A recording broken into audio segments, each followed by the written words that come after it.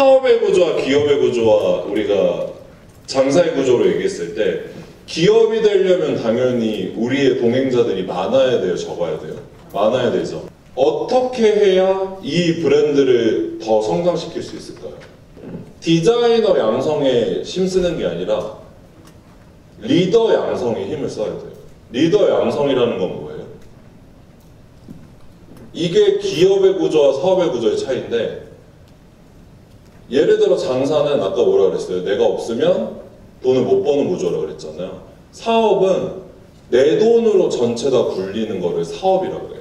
내 돈. 그러니까 순수하게 오너 돈 100%가 들어가 있는 걸 사업이라고 해요. 그래서 사업은 내 돈이 100% 들어가 있기 때문에 내가 없어도 굴러가긴 하지만 결국에는 나밖에 이득 볼게 없는 게 사업이에요. 이게 커지려면 사업이 커지려면 당연히 어떻게 돼야 되겠어요? 우리 브랜드에 돈을 투자하는 디자이너들이 있어야 될 거 아니에요. 예를 들어 카이정 헤어가 이렇게 빨리 성장할 수 있었던 이유는 카이정 헤어의 프로세스를 사고 싶다. 관리 매뉴얼이나 디자이너 양성 프로그램이나 혹은 리더들의 사고, 리더들이 어떻게 생각하고 어떻게 일하는지를 돈을 주고 가맹을 줘서라도 돈을 주서라도 이걸 사고 싶다라고 생각했으니까 투자를 하게 된단 말이에요. 그 회사에. 내가 아닌 주인이 아닌 다른 누군가가. 기업과 사업의 가장 큰 차이점은 기업은 직원들의 지분이 들어가 있어요. 직원 자체가 주인화가 돼 있어요. 그럼 직원들이 투자하는 회사를 만들려면 어떻게 해야 될까요? 이 브랜드를 이끌어 갔을 때 어떤 부분들이 장점인지를 정확하게 설명해 줄 수 있는 리더가 있어야 되는 거예요. 내가 사업을 왜 하는지, 내가 기업을 왜 하는지, 나는 어떻게 고객을 케어하고 싶은지, 나는 어떤 사고로 미용을 하고 있는지를 저처럼 이렇게 설명해 줄 수 있는 사람이 있어야 이 안에서 그 뜻을 따르는 사람이 생길 거 아니에요. 근데 그걸 안 하고 리더분들이 그렇게 하시면 안 돼요. 어떻게? 나, 오, 매출 잘했네. 돈 많이 벌었네. 그거에서 끝나면 안 된다는 거예요. 주말에 마감을 했을 때 포스를 보고, 야, 너 매출 잘했다. 이러면 장사예요. 우리 오늘 어떻게 일했는지 피드백 해보자. 라고 해서 고객 케어는 잘 됐는지, 서비스는 제대로 나갔는지, 샴푸 부족함은 없었는지, 시술 완성도 높았는지를 피드백하면 그때부터가 사업이고 그거를 같이 하고 싶어서 투자하면 기업이 되는 거라고요.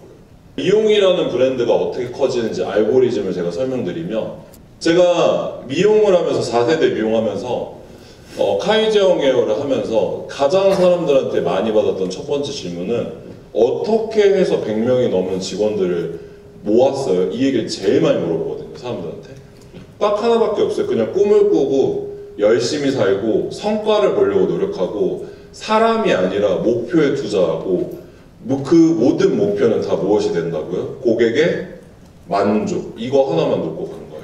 저 오늘 강의할 때 열정적으로 하나 열정적으로 안 하나요? 열정적으로 하죠. 근데 저는 분위기 보지 않아요. 어 약간 지루해하네. 어 약간 피곤해하네. 어 약간 지금 다운됐네 이런 거 보이지 않아요. 왜 보지 않을까요? 한 명만 듣고 있으면 그냥 그 한 명. 어차피 내가 오늘 강의를 통해서 얻을 수 있는 그 한 명. 여기 180명이 있지만 이 중에서 한 명만 만족한다면 그 한 명을 위해서 최선을 다해야죠. 그러니까 한 명만 있어도 최선을 다하는 거고 180명 있어도 최선을 다하니까 되는 거예요. 우와, 우와, 강의 잘하고 있는 제건데. 그래서 마지막으로 여러분들한테 제가 좋은 얘기 덕담 한마디만 해드리자면요. 삶을 살아가면서 성공하고 싶잖아요. 이니예지를 머릿속에 넣으세요. 저희 해볼게요. 자, 한마디씩 해주면 돼요. 이니예지 제가 설명해 드릴 테니까 한 단어씩 얘기해 주면 돼요. 자, 먼저. 자, 인간다움. 위로. 예절. 지혜로. 이게 여러분들한테 무엇보다 중요한 가치예요. 디자이너 선생님들 미용하시는 분들한테 부탁드릴게요. 자, 인간다움 뭐예요? 인간다움. 사람 도우려고 하셔야 돼요. 사람 도우려고. 크루들이 바닥 쓸고 있으면 바닥 쓰는 거 도와주시고요. 청소하고 있으면 청소 도와주시고요. 옆 사람이 중화하고 있는데 손 부족하시면 도와주시고요. 매장 앞에 지저분하시면 청소해 주시고요. 여러분들 앞에 지나가는 사, 여- 경험하는 모든 사람들이 힘든 일을 겪고 있으면 그거 도와주셔야 돼요. 저 우리 백승준 본부장님 계시지만 저 얼마 전에 KTX 탔을 때 제가 했던 사람 도우는 일 뭔지 알아요? 진짜 우리나라 남자들 정말 매력 없어. 진짜 쓸모 없어 남자들. 솔직하게 얘기하는 거예요. 앞에서 애기 엄마가 다섯 살짜리 애기 데리고 있는데 진짜 20인치가 넘는 캐리어를 들고 KTX에 탄 거야. 내 앞에 남자들이 건장한 남자들이 다섯 명이나 있었어. 문이 열리고 내리는데 아무도 짐안 들어줘. 어떻게 하는지 알아요? 비집고 들어가. 내리려고. 그렇게 살면 인생 행복 못해요. 옆에서 절절 매고 있는 사람들 보이잖아. 어떻게 해야 돼요? 도와줘야지. 그게 멋있는 거예요, 매장에서. 내 옆에 디자이너 힘들어하고 일하는 사람 힘들어하면 도와주는 게 거지. 위, 위로움은 뭐예요? 의로움. 인간다움은 인간을 아끼고 인간을 도와주는 마음이라고 했어요. 의로움은 뭐예요? 정의로워야 되는 거예요, 정의로. 저희 리뷰 counting 하고 싶으면 어떻게 해야 돼요? 리뷰 많이 쌓고 싶어. 그럼 어떻게 해야 돼요? 정정당당하게 고객한테 잘해서 받아야지. 근데 사돈의 8촌까지 다 부탁해서 리뷰 쌓아. 나 스스로 이렇게 쌓은 리뷰에 만족감 느껴져요? 나 막 너무 행복해요?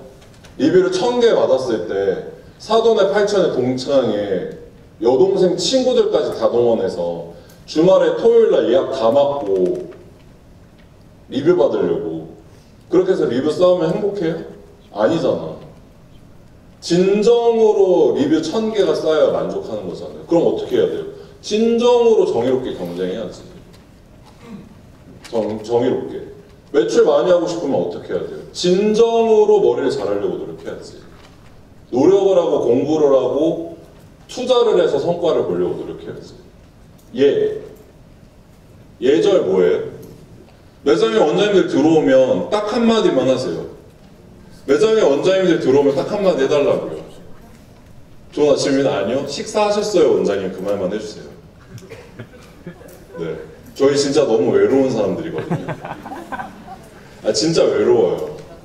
리더가, 리더 돼보면 알아요. 제일 외로워요. 근데 먼저, 진짜 누군가 먼저 와서, 원장님 오늘 식사하셨어요? 이렇게 물어보면 진짜 너무 고마워요. 크루들한테 일하면서 딱 한마디만 해주세요. 고마워 한마디만 해주세요. 그냥. 내 다운펌을 찐빠를 내든, 염색약을 뿌리에 덕지덕지 발라서 염색약을 염색약 때문에 뿌리를 찐빠를 내든 밑에 연결하지 말라 그랬는데 파- 펌제를 밑에까지 연결했든 샴푸만 나오라고 얘기했는데 팩을 발라서 나왔던 우리가 뭐라고 얘기하면 돼요? 고마워 다운펌 찐판 해줘서 고마워 얘기하면 된다고요 그냥 고맙다고 얘기하면 돼 뭐 때문에 고마워? 나랑 일해줘서 고마워 동료들한테 딱 한 가지만 얘기하면 돼요. 함께 해줘서 고마워. 하면 돼요. 바쁜 토요일, 야, 함께 해줘서 고맙다. 우리 오늘 열심히 했다. 그냥 그거면 된다고. 이게 예절이에요, 이게. 진짜 여러분들 삶을 바꾸는 거 리더들한테 식사하셨냐고 물어보는 한마디 때문에 여러분들 인생 바뀐다? 제가 그랬거든요. 저희 원장님이 저 왜 키워줬는지 알아요? 아침에 만났을 때 원장님한테 원장님 아침 식사하셨습니까? 라고 물어보는 사람 저밖에 없었대요. 그럼 누구랑 밥 먹고 싶어? 나랑 밥 먹으러 가자. 맨날 나 데리고 밥을 먹으러 가는 거야. 밥 먹다 보면 무슨 얘기예요? 인생 얘기하고 성장하는 얘기해주고 투자해주는 얘기해주잖아요. 그거 듣고 여기까지 올라온 거예요. 지 지혜로운 거 뭐라고요? 공부 좀 하시라고요. 유튜브 그만 보시고 인스타 그만 보시고 무슨 공부하셔야 돼요? 무슨 공부하셔야 돼요? 사람에 대해서 공부하셔야 돼요. 사람에 대해 먼저 미용 잘하려면 내가 인문학적인 부분들을 먼저 공부해놓고 사람이 이런 거구나라고 정확하게 이해했으면 그때부터 머리 공부하세요. 사람 먼저 이해해야 공부할 수 있는 거예요. 우리 원장님이 화가 났으면 아 저 사람은 MBTI가 T라서 화가 났구나. 원장님이 지금 기쁜 상황에서 한마디 던지면 아 이 사람 T라서 저러는구나. 뭐 화 나요? 화 안 나요? 화 안 나잖아요. 사람에 대해서 공부하세요. 그리고 지혜롭다는 거 모든 상황을 다 자기한테 유리하게 만들 수 있다는 거거든요. 그 말은 무슨 말이에요? 감정이 아니라 성과 중심으로 일하셔야 된다는 거예요. 기분 좋아서 기분 나빠서가 아니라 나의 삶에 도움이 되면 하는 거고 도움이 안 되면 안 되는 거예요. 자, 미용 힘들죠? 근데 우리는 할 수 있어요. 왜요? 오늘 가시기 전에 여러분도 옆 사람한테 오늘 함께 해줘서 고맙다고 얘기하시고 네. 어? 이렇게 말을 잘 들어요. 네. 네, 그리고 네, 저한테도 잘생겼다고 얘기해 주시고 돌아가세요. 고생하셨어요. 네, 감사합니다. 오늘 좋은 환경 만들어주신 환호 원장님 다들 너무너무 감사하고요. 저희 저거 뭐야 추천 있잖아요.